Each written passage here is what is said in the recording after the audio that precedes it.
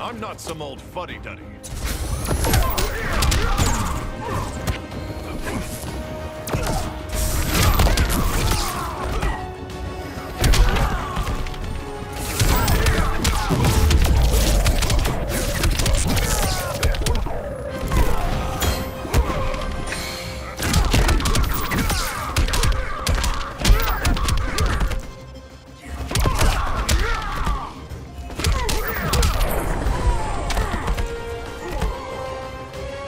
The Flash wins.